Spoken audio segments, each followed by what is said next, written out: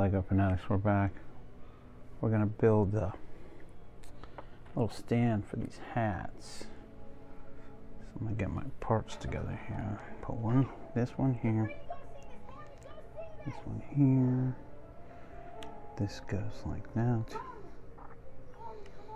This goes like that, so we'll have it like this.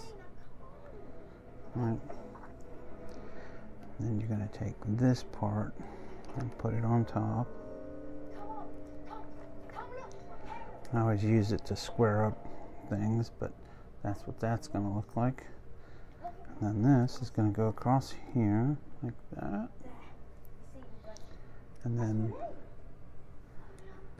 these two go here. And before I put the hats on, I've got a sticker. Love the stickers.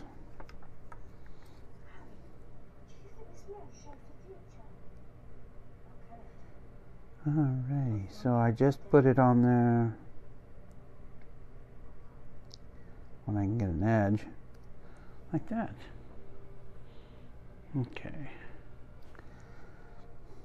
And then this one goes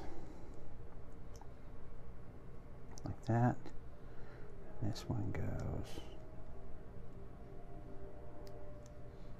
that, and there you go. Little hat stand. Pretty cool. I'm going to put that over to the side.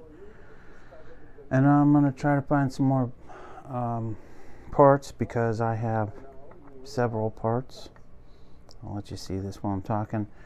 Um, that I'm going to build a stand for the owl and the bats for the um, shop that's going to sell the bats and animal familiars is what I call them for the magical people.